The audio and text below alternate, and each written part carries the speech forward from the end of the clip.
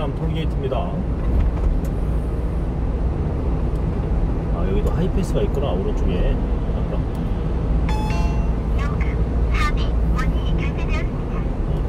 상남 톨게이트 통과했어요